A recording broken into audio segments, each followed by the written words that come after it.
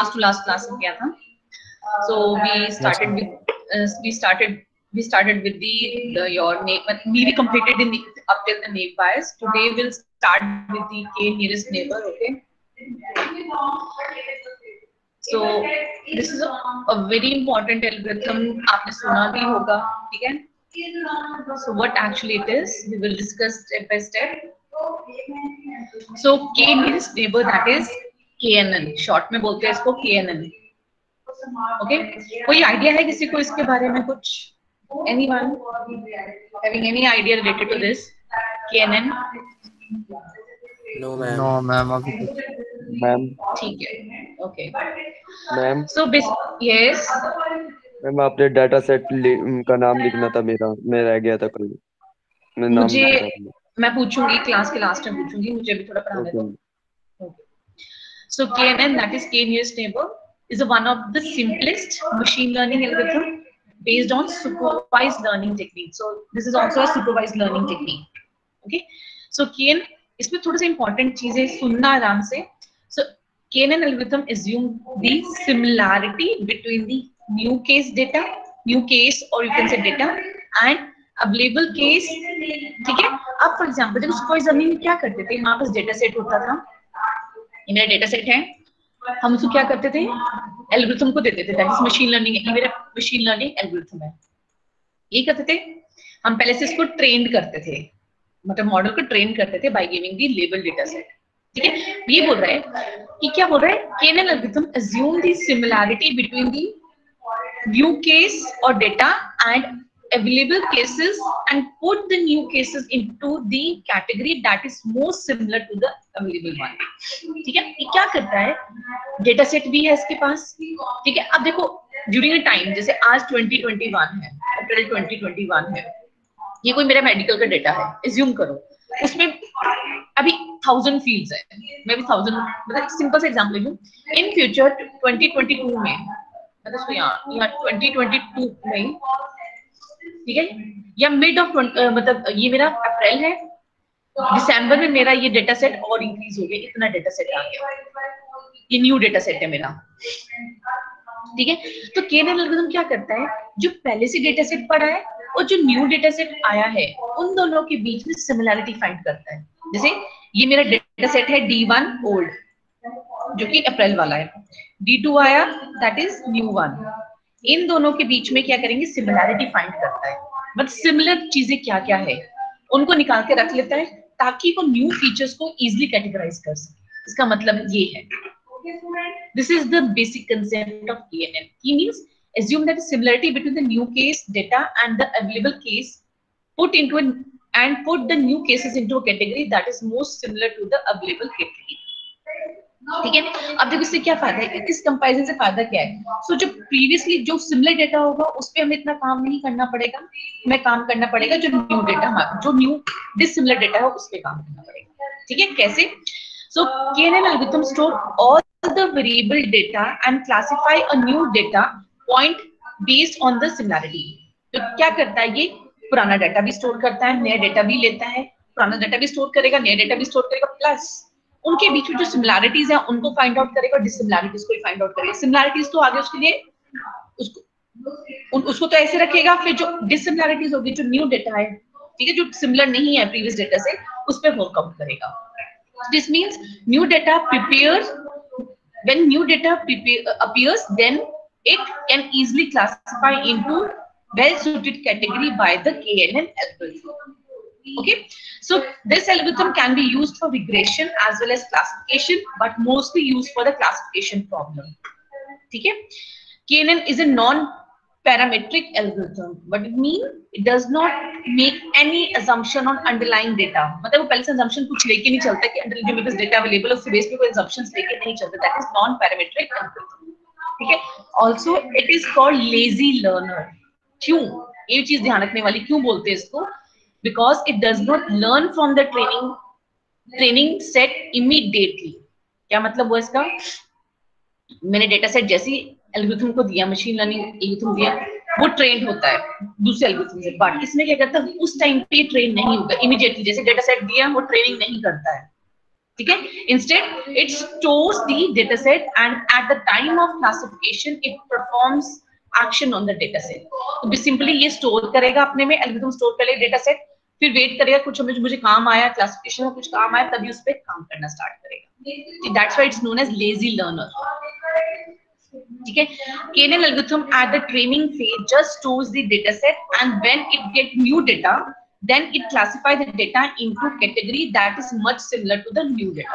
क्या करता है? सबसे पहले क्या है?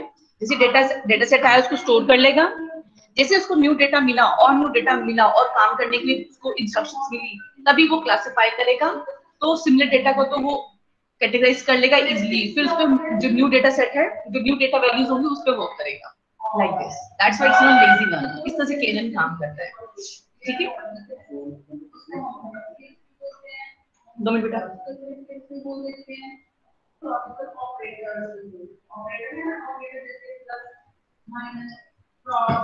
देखिए एग्जांपल देखिए। Suppose we have an image of creatures that look similar to cat and dog. ठीक है? Creatures क्या जो cat and dog की तरह, ठीक है? But we want to know either it is a cat और अ डॉग वहाँ पे डेटा सेट है जिसमें फीचर क्रिएचर सारा डेटा है इसका कैट एंड डॉग जैसे सिमिलर मतलब क्रिएचर्स का, हमें फाइंड आउट करना है कैट है डॉग है।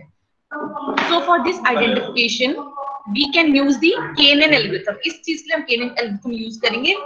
As it work on the similarity measure जहाँ पे हमें कुछ सिमिलैरिटी रिलेटेड कुछ फाइंड आउट करना होता है कि मेरे डेटाबेस से डेटा सेट से मुझे कुछ सिमिलैरिटी फाइंड आउट करनी तो वहाँ पे हमारा KNN बहुत काम करता है मशीन लर्निंग में। ठीक है? Our KNN model will find the similar features of the new data set to the to the cat and dog images based on the most similar feature that will put either in a cat or dog देखिए ये input value है हमें पता नहीं क्या है। KNN classifier उसको further classify करके प्रिडिक्ट करेगा कि कैट है या डॉग है। ठीक है? सो ये क्या करेगा? इसका काम कैसे करेगा? डेटा सेट पहले भी स्टोर होगा new feature new data set भी लेगा, उसको कंपेयर करेगा सिमिलर फीचर्स फाइंड आउट करेगा, फिर वो प्रिडिक्ट करेगा। ठीक है? So this is how your K N N work ठीक है? आप देखो, इसमें और एल्गोरिथम कैसे काम कर रहे हैं? तो सिंपल एग्जांपल हुआ।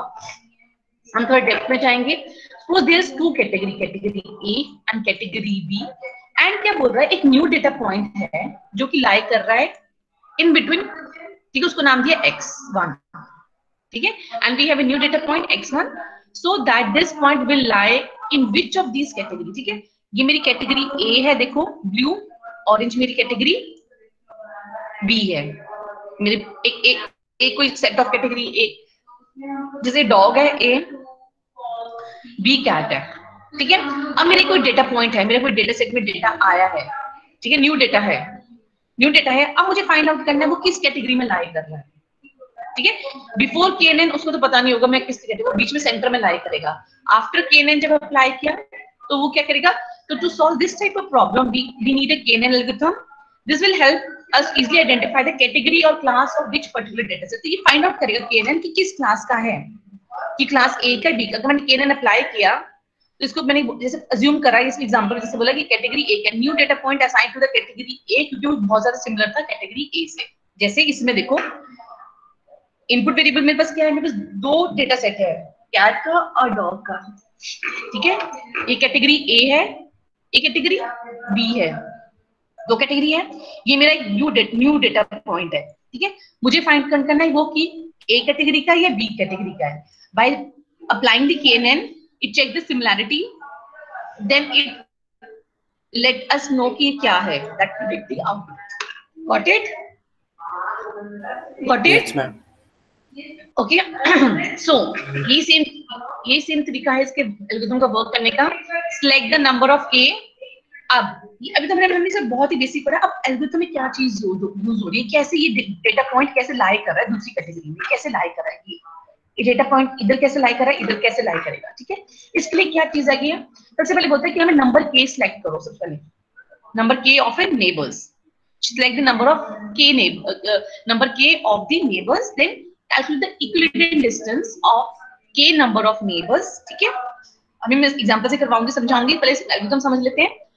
पहले तो हमने k सिलेक्ट करा फिर इक्विवेलेंट डिस्टेंस निकाला then take the k nearest neighbor as per the calculated equivalent distance हमने equivalent distance निकाला जो k nearest neighbor होंगे हमें वो फाइंड आउट करने हैं then among the k nearest neighbors count the number of data points in each category फिर count करेंगे कितने डेटा पॉइंट्स किस कैटेगरी में है assign the new data point to the category for which the number of neighbors is maximum और इस तरह से हमारा केएनएन मॉडल रेडी होगा कैसे देखो मैं एग्जांपल देखो ठीक है वही सेम एग्जांपल पीछे इमेज ली हमने इसमें सबसे पहले क्या चूज़ करेंगे हम के की वैल्यू मैंने के की वैल्यू फाइव चूज़ करी इसमें भी डिस्कस करेंगे कैसे चूज़ करनी है हमने मैंने के की वैल्यू फाइव चूज़ करी it's an assumption okay next we will calculate the equivalent distance between the data points the equivalent distance is the distance between two points which have already हमने आपने पढ़ा होगा देखो क्या ये formula होता है equivalent distance का this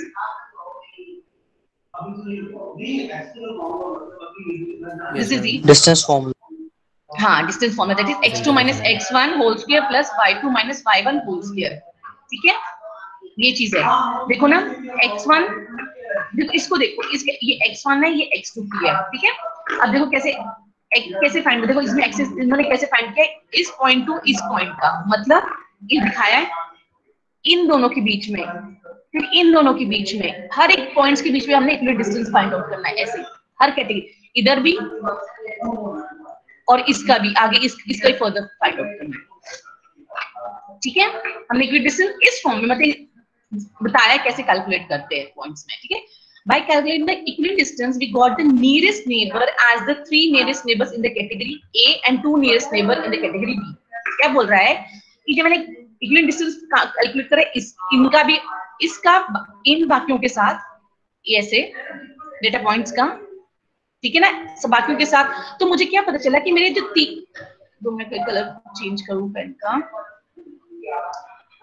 मुझे ब्लू कलर तो है इसमें।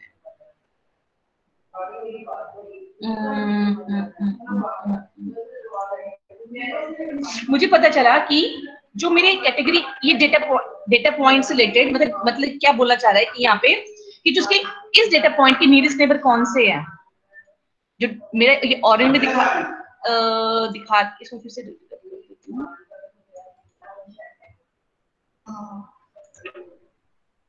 मींस डिस्टेंस फाइंड आउट करा इस डेटा पॉइंट से, ये वाले डेटा पॉइंट से। तो ये, इसमें बचा जो इक्वल डिस्टेंस तीन के, इसके नियरेस्ट नेबर ये बने, इसके दो बने। बाकी सारे इससे फार अवे थे। सबका इस पॉइंट से फर्दर सारी कैटेगरी का इक्वल डिस्टेंस फाइंड आउट करा। फिर फाइंड आउट में कौन से नियरेस्ट नेबर है? तो कैटेगरी ई में तीन निकले कैटेगरी बी में दो निकले। ठीक है? अगर आपको याद करो, हम अगर फिर एल्गोरिथम में जाते हैं देन क्या बोल रहा है?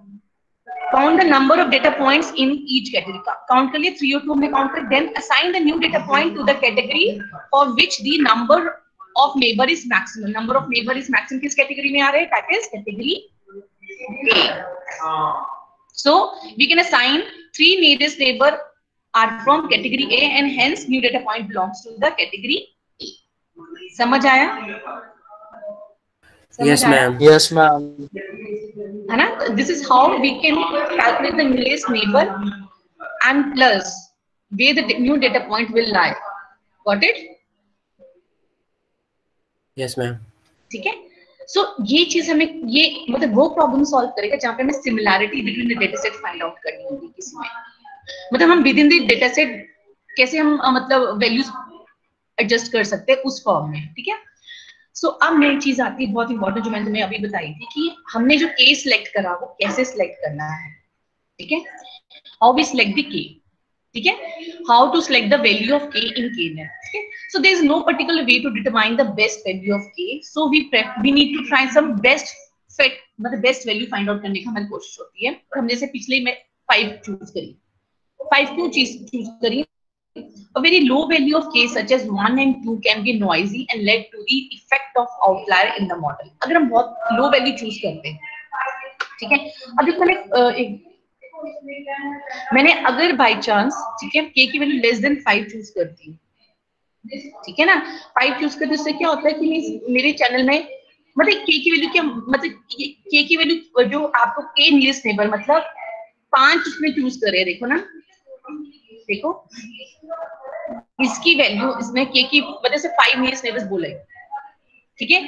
अगर मैं टू करती तो वो एक एक वैल्यूज़ ही आती। तो उससे हमें परफेक्ट वैल्यूज़ नहीं मतलब डेटा मतलब रिज़ल्ट नहीं मिलता सिमिलैरिटीज नहीं मिलती। तो फाइव से क्या होगा? हमें रिजल्टेंट ठीक मिला, ठीक है? टू मतलब वेरी लो वैल्यू में क्या? नॉइजी मतलब हमें एक्यूरेट रिज़ल्ट नहीं देगी और लार्ज वैल्यू अगर मैं एट ले लेती, तब होता गुड होता but it may find some difficulty बार बार हमें वो इक्वली डिस्टेंस फाइंड आउट करना होता है तो हमें कुछ ना कुछ एक ये बोलता है कि एक वैल्यू हमारी ऑप्टिमल होनी चाहिए, ताकि हमारा मतलब हमारे एल्गोरिथम में कंप्यूटेशन कॉस्ट थोड़ा ज़्यादा ना लगे। We can easily find out the nearest neighbour ठीक है? आप देखिए इसकी एडवांटेजेस एंड डिसएडवांटेजेस क्या है? Simplest to implement it is robust to the noisy training data and can be more effective if the data set is large data data set large है तो हमें इजीली वर्क करता है। Disadvantage देखना, ठीक है? Always need to determine the value of k which may be a complex some one time अभी तो हमने फाइव चूज़ करी क्योंकि क्योंकि हमारे बहुत ही छोटा डेटा सेट था। जब हमारे डेटा सेट बड़ा हो जाएगा काफ़ी काफ़ी लेंथी डेटा सेट हो तब हमें के की वैल्यू फाइंड आउट करना it's a tedious task Plus, the computation cost is high because of calculating the distance between the data points for all training samples. अभी तो हमने थोड़े मतलब सात आठ डेटा डेटा सेट था तो मतलब एक कैटेगरी में कैटेगरी ए में समझो एट डेटा है। है ना? और कैटेगरी बी में सिक्स डेटा तो उसके बीच में डिस्टेंस फाइंड करना तब भी ठीक था। अगर हमारे पास हंड्रेड होगा तब बहुत मुश्किल हो जाएगा। ठीक है? तो कंप्यूटेशन कॉस्ट बहुत ज़्यादा है क्योंकि बार बार इक्विटी डिस्टेंस फाइंड आउट करना पड़ता है। so these are the drawbacks of the knn समझ आया? Any doubt to anyone yes no ma'am got it ma'am ma'am जो हमारे फ़र्स्ट यूनिट के जो नोट्स थे उसमें ना अनसुपरवाइज लर्निंग के अंडर में ये एल्गोरिथम के नेम्स में इसका एग्जांपल था। हाँ। अनसुपरवाइज लर्निंग में था। यस मैम उस टाइम ना याद करो रवि ने हमें मुझे मुझे पॉइंट आउट किया था कि मैम केएनएन हमारा सुपरवाइज्ड है। याद करो। यस मैंने बोला मैं चेक करूँगी। तो वो हमने फिर डिस्कस नहीं किया था। केएनएन हमारा जो बेसिकली है वो हमारा सुपरवाइज लर्निंग में ही आता है। बात हाँ। Okay okay, ma'am okay? So, this is all about your knn that is k nearest neighbor any doubt to anyone. इस इस इस एल्गोरिथम में सिर्फ़ एक मतलब न्यू डेटा पॉइंट्स आएँगे, हम उसको अपने प्रीवियस डेटा सेट्स के साथ मैच करेंगे, फिर हम इक्वलेंट डिस्टेंस फाइंड आउट करेंगे और देखेंगे कौन सा उसके ज़्यादा वैल्यूज़ आएँगी और उसी में उसको शिफ्ट कर देंगे उस कैटेगरी में। ये हमारा बेसिक सा फंडा है इस एल्गोरिथम का। एनी डाउट टू एनीवन हाँ No, ma'am. okay. So next uh, next is fourth vector machine. ठीक है? So ये भी बहुत पॉपुलर और most important supervise learning algorithm है ठीक है? जो कि क्लासिफिकेशन और रिग्रेशन के लिए हम यूज़ करते हैं। तो सबसे ज़्यादा ये क्लासिफिकेशन के लिए ही यूज़ करता है। तो बेटा हमने इतने एल्गोरिथम्स पढ़ लिए हैं। आपको पता होना चाहिए टेबल बना लेना कि कौन सा एल्गोरिथम क्या है। सुपरवाइज लर्निंग है अनसुपरवाइज लर्निंग जैसे और एल्गोरिथम पढ़ेंगे। और वो क्या ज़्यादा मतलब क्या टेक्निक्स यूज़ कर रहे हैं मतलब किसके लिए अंडर यूज़ करते हैं। क्लासिफिकेशन के लिए जैसे सुपरवाइज लर्निंग है क्लासिफिकेशन के लिए यूज़ करते हैं रिग्रेशन के लिए यूज़ करते हैं। तो वो आपके टैबलर फॉर्म में बना के रखना। कई बार क्वेश्चन थोड़े मोल्डेड फॉर्म में भी आ सकता है। आपसे डायरेक्ट एसबीएम नहीं पूछा, कुछ और फॉर्म में पूछ लिया ठीक है? So the goal of uh, SVM algorithm is to create the best line or the decision boundary that can segregate n-dimensional space into the classes so that we can easily put the new data point in the correct category in the future. देखो पिछले वाला क्या था new data point को ले रहा था ठीक है और by using by calculating the distance formula वो वैल्यूज़ असाइन कर रहा था कैटेगरी अब ये क्या बोल रहा है कि एसबीएम क्या बोल रहा है कि हमें बेस्ट लाइन ऑफ़ डिसीज़न मतलब बेस्ट मतलब बेस्ट सुटेड जो बोलते ना डेटा पॉइंट के लिए होगा उसी कैटेगरी में उसको डालना होगा दैट्स व्हाई ये बोल रहा है कि to create the best line of decision that can segregate n dimensional space into classes so that we can easily put data data new data point in the correct category in the future so this best decision boundary is called hyperplane अभी पढ़ेंगे, इसको देखेंगे क्या होता है। जो best decision उसको क्या बोलते हैं? हाइपर लेन ठीक है? So S choose is extreme point points of vector that can help in creating the hyperplane तो एक्सट्रीम लेवल तक जाके not an minimum level extreme level तक भी जाता है ठीक है? This extreme cases are called support vectors जो आगे फर्दर डिसीज़न को सपोर्ट करेंगे हमारे। And hence this algorithm termed as support vector machine so consider uh, consider the diagram different categories that are classified using decision boundary देखो so this is x x x1 x2 ठीक है ये मेरे data points है category A category B वाले जैसे आप देखा था ठीक है अब देखो ये मेरी क्या है ये जो सेंटर वाली है मैक्सिमम मार्जिन हाइपरलेन ठीक है इससे अबव होगी दैट इज़ पॉजिटिव हाइपरलेन इससे बिलो होगी that is the this one is negative hyperplane ठीक है? और ये वाली क्या है? This is maximum margin hyperplane और ये जो है, देखो, इसकी जो, इस लाइंस के थ्रू जो डेटा सेट कॉन्साइड कर रहे हैं मतलब वैल्यूज़ कॉन्साइड कर उसको बोलेंगे स्पोर्ट वेक्टर्स क्या बोल रहे हैं? स्पोर्ट वेक्टर्स गॉट इट अब इसको हम थोड़े डिटेल में आगे देखेंगे. इतना समझ आया? Yes, ma'am. और मैक्स ये ये जो मार्जिन ये वैल्यू जो जा रही है मैक्सिमम मार्जिन वैल्यू है। Maximum value mean from this to यहाँ तक that is the maximum margin ठीक है? फॉर एग्जांपल देखिए SVM can understood with example that we have used in KNN classifier जो हमने केएनएन यूज़ किया। Suppose we see a strange cat एक strange see cat that has some features of dog as well as of the cat So if the model that can accurately, accurately identify whether it is a cat or a dog, such model can be created using the SVM. So कई बार हमारे पास कोई ऐसे values होती है तो दोनों category की features exist करती है तो वो किस कैटेगरी में जाएगी मीन्स तो हमें बेस्ट डिसीजन देने के लिए हम एसवीएम एल्गोरिथम यूज करते हैं तो क्या करेंगे इसमें first we uh, we will first train a model with lots of images of cats and dog so that it can learn about different features of cats and dog. कि सबसे पहले हम डेटा लोड कर देंगे data से load कर देंगे images का किसका कैट एंड डॉग का जो कि आइडेंटिफाई करे different different features and then we test it with this strange feature फिर हम ये जो हमारा डेटा पॉइंट न्यू ये मेरा न्यू डेटा पॉइंट है देखो। ये मेरा न्यू डेटा पॉइंट है दैट इज़ स्ट्रेंज क्रिएचर जो है उसको फिर हम मैच करेंगे। So, as sport vector creates a new decision boundary between these two data, दो बाउंड्री क्या हो जाएगी? एक कैट की हो जाएगी एक डॉग की हो जाएगी। एंड चूज़ एक्सट्रीम इसके बीच में हमारा एक्सट्रीम केस आ जाएगा that is support vector it will see extreme case of cat and dog ठीक है? तो जैसे डायग्राम में ये देखो। ये मेरे लेबल डेटा है। मॉडल ट्रेन हुआ ठीक है? ये न्यू डेटा ऐड हुआ प्रिडिक्शंस हुई and then it is an a cat इस तरह से हमारा काम करेगा। पर हम इसको और डिटेल में देखेंगे। सो क्या बोल रहे हैं SVM can be use for face detection image classification text recognition so देखो face detection image classification text these are the different example of SVM देखो, जब हम ना अपना, अगर हम फ़ोन में या कहीं भी अपने फेस रिकग्निशन लगाते हैं पासवर्ड्स लगाते हैं तो देखो, वो हर movement up down right left इस तरह से करता है ना। फॉर द रीजन क्यों वो डिफरेंट डिफरेंट वैल्यूज़ अपने पास रखता है, सारी इमेजेस सारी मतलब सारे फीचर्स रखता है कि किसी ने बाई चांस कोई अपनी फ़ोन ओपन करते हुए कई बार वो लेफ़्ट में देख है राइट में देख है लाइक दिस तो ये सारी चीज़ें तो ये this is the best way जो एसबीएम हमारा, कि फेस डिटेक्शन में हमारा बहुत इंपॉर्टेंट रोल प्ले करता है मतलब यूज़ करते हैं ठीक है? थोड़ा एसबीएम की दो categories that is linear and non linear linear means जब हमें मतलब हमारे वेरिएबल्स मतलब हमें वन डायमेंशनल डेटा एनालाइज करना हो सिंपल तरीका. मतलब सिंपल टर्म से समझो। Non linear more than one more than two dimensional और थ्री डिमेंशनल लाइक दिस ठीक है? Linear SVM is for linear separable data which means if data set can be classified into two classes by using a single straight line that is linear one ठीक है? Non linear क्या होगा? Which means if a data set cannot be classified using a straight line means इसके दो तीन और dimensions हैं that's why उसको बोलेंगे नॉन लीनियर ठीक है?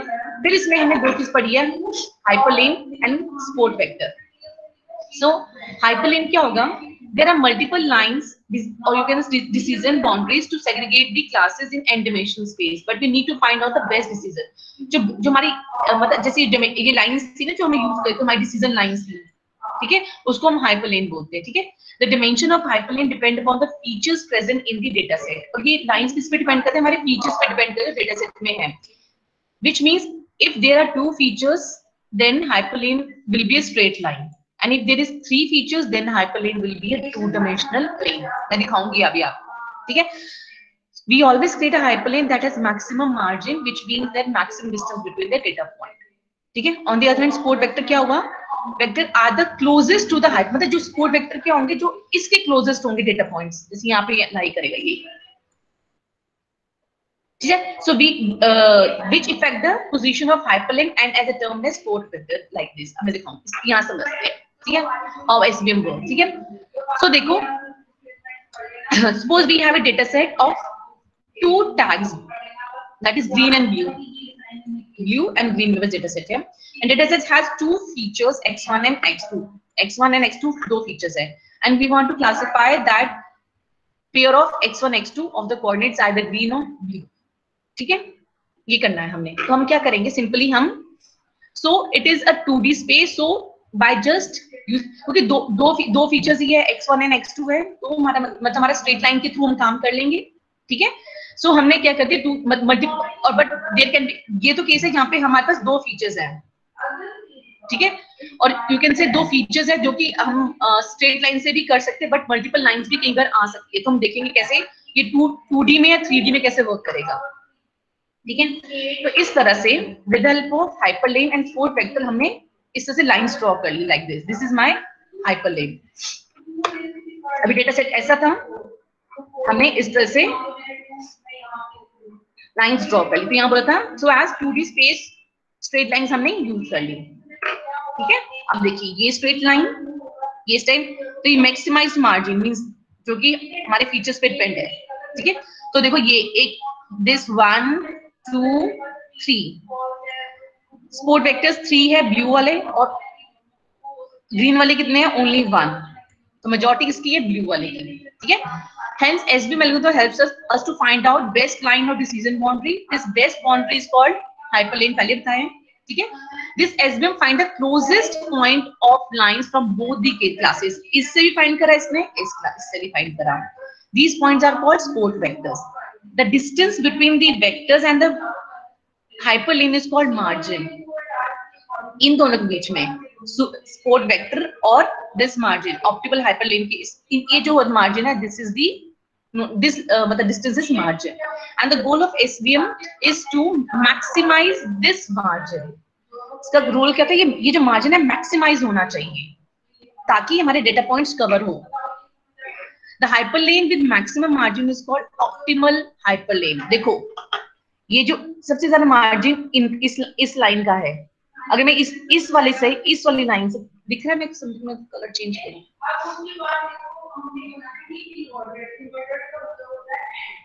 कौन सा कलर नो सारे कलर तो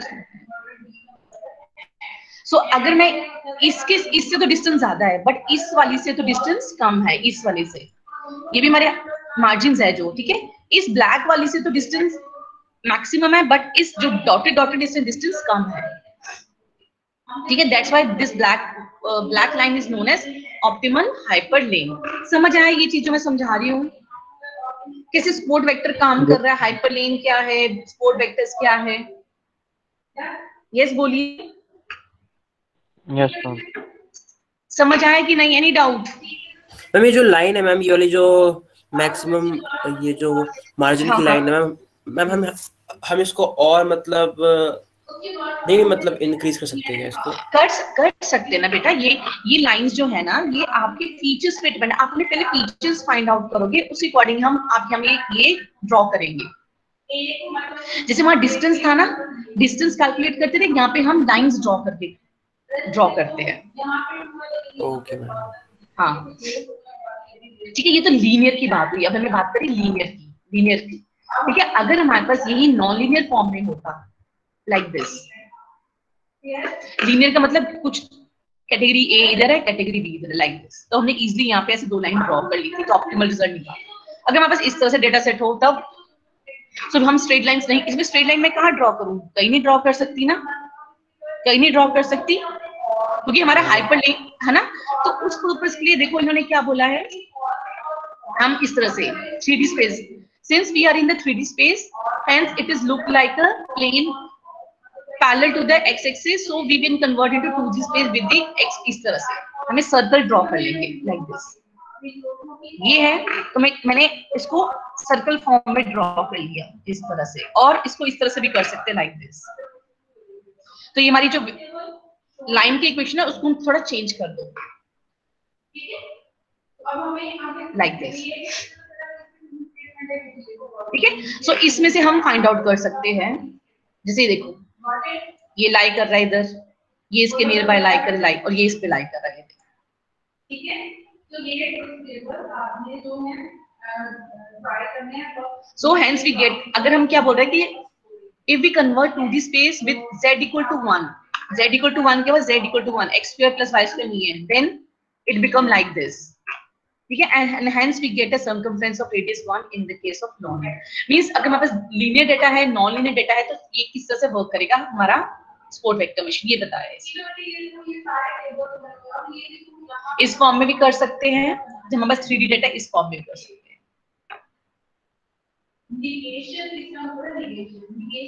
थोड़ा इसको ट्विस्ट कर दिया इसको थोड़ा एंगल चेंज करके ये रिज़ल्ट कर दिया। मतलब एक्स वाई के साथ एक जेड डायमेंशन हमने ऐड कर दिया समझ आया एसवीएम यस मैम ठीक है? सो टाइम मेरे ख्याल से हो गया है। तो इसका लास्ट टॉपिक है थोड़ा सा हम देख लेते हैं कि एक- मतलब चार फीचर्स हैं ठीक है? क्या क्या होते हैं? तो evaluating the classification model performance classification models की हम परफॉर्मेंस कैसे इवेल्युएट कर सकते हैं? तो सबसे पहले आता है एक्यूरेसी नंबर टू सेंसिटिविटी और recall third is specificity and precision चार फीचर्स है। जैसे पैरामीटर्स थे ना हमने लास्ट उसमें पढ़े थे, इसमें भी है। दैट इज़ एक्यूरेसी क्या है? Accuracy the number of correct prediction made by the model by the total number of records जैसे उसने, मेरे पास 100 रिकॉर्ड है, उसने 75 परसेंट एक्यूरेसी है। 75 परसेंट एक्यूरेसी में बोलती हूँ कैसे होगी उसने 75 परसेंट करेक्ट प्रिडिक्शन करी है। Best accuracy is 100 percent indicating that all predictions are correct ठीक है? For a imbalance data set accuracy is not a valid measure of model performance अगर हमारे डेटा सेट ही इम्बैलेंस है पूरा मतलब बहुत ही हॉस्पिटल डेटा सेट है तब हमारा एक्यूरेसी कोई मेजर नहीं है परफॉर्मेंस इवैल्यूएट करने की। For a data set where the default rate is 5%, even if all the records prediction predicted as zero, the model will still have an accuracy of 95%. But in this model, we will ignore all defaults and can be very de uh, detrimental to the business. So accuracy is not a right measure to model. But accuracy, अगर हम बोलते हैं seventy five percent fifty percent है तो हम बोलते हैं कि yes हमारा मॉडल एक्यूरेट है but accuracy is not an only measure to calculate the performance. उसके साथ हमारा यूज़ होता है सेंसिटिविटी सेंसिटिविटी क्या बताती है कैलकुलेटेड और इसको रिकॉल भी बोलते हैं as a total number of correct positive prediction divided by the total number of positive positives ठीक है? और इसको क्या बोलते हैं हम? रिकॉल भी बोलते हैं आरईसी और ट्रू पॉजिटिव रेट टीपीआर भी बोलते हैं सेंसिटिविटी ठीक है? अब ये टीपी क्या है? टीपी क्या है? ट्रू पॉजिटिव टीएन क्या होगा? True negative false positive false negative ठीक है? तो एक टीपी क्या है? True positive upon true positive plus false negative sensitivity specificity क्या है ट्रू नेगेटिव क्या है it is calculate as the number of correct negative prediction divided by the total number of negatives तो true negative upon true negative plus false positive. This is the formula for this. Then precision is calculated as the number of correct positive prediction divided by the total number of positive prediction. TP upon TP plus FP. That is true positive plus false positive. अब देखो, इसको, ये चीज़ें है क्या? देखो true positive मतलब prediction is positive true positive मतलब prediction is positive true negative prediction is negative false positive prediction is negative ठीक है? Sorry prediction is positive false positive prediction is negative इसका ये मतलब है। अब देखो कैसे? प्रिडिक्शन ट्रू पॉजिटिव क्या है? Prediction is positive and X कोई पर्सन एक्स पॉजिटिव तो मतलब डायबिटिक है वी वांट दिस मतलब हमें यही फाइंड आउट करना है next is prediction is negative, then X is healthy. We want this too. True, negative. False positive क्या होगा? Prediction is positive. X is healthy. False alarm bad. ठीक है? अगर prediction is negative हो गया तो क्या होगा? X is diabetic. This is the worst case. So this is इन्होंने divide करा है मतलब हमारे predictions को true positive, true negative, false positive and false negative. And by by the, the help of this precision, specificity, sensitivity and accuracy, we can calculate the performance of the classification model. Clear? Any doubt to anyone? कुछ पूछना है? No, ma'am. So uh, by this your uh, this class ma'am uh, syllabus में ना sensitivity और recall अलग अलग दे रखा है वो सेम ही है ओके मैम हम्म चेक कर लेना अगर आपको ऐसा लग रहा है कि चेक कर लेना ऑनलाइन भी चेक कर सकते हो। नेक्स्ट हमारे पास इस इस यूनिट का टॉप टॉपिक बचा है क्लस्टरिंग ठीक है? उसके मेथड से क्लस्टरिंग पढ़ना है। अभी हमने अ, मैं सिलेबस दिखाती हूँ ये रहा। हमने क्लासिफिकेशन पढ़ा क्लासिफिकेशन लॉजिस्टिक क्लासिफिकेशन के एल्गोरिथम थे सारे ये यहाँ तक। और क्लासिफिकेशन की हमने मॉडल्स की परफॉर्मेंस भी इवैल्यूएट कर ली। अब हमारे पास क्लस्टरिंग बचा है। ठीक है क्लस्टरिंग के मेथड बाय दिस आपका जो सिलेबस है, मैं अगर आपको दिखाऊँ। Unit this is unit four complete हो जाएगी। देखिए यूनिट फोर हमारी कंप्लीट हो जाएगी नेक्स्ट वीक हमारा। मतलब मतलब बस क्लस्टरिंग रहता है यूनिट फोर क्लासिफिकेशन खत्म हो गया। फिर हमारे पास यूनिट फाइव बचा। Association learning rule artificial neural network and genetical ठीक है?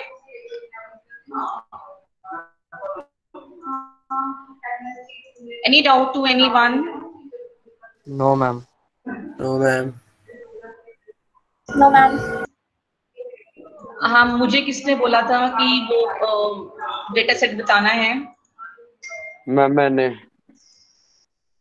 क्या नाम है? आकाश। हाँ दो मिनट।